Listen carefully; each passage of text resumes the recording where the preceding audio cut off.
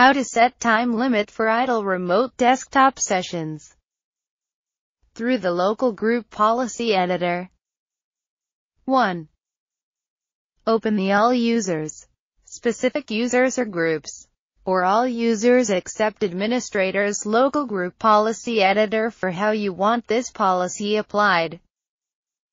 2. In the left pane, click on to expand user configuration, administrative templates, Windows components, remote desktop services, remote desktop session host, and session time limits. 3. In the right pane, right-click on Set Time Limit for active but idle remote desktop services sessions and click on Edit. 4. To remove time limit for idle remote desktop services sessions. A. Select. Dot. Either not configured or disabled. Note.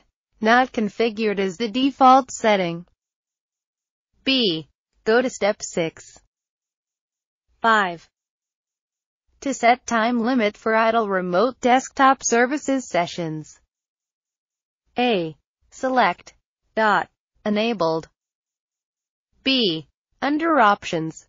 Click on the Idle Session Limit drop-down box and select an amount of time you would like to set as the time limit.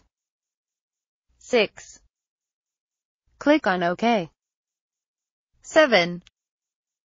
Close the local group policy editor window. That's it. Shawn.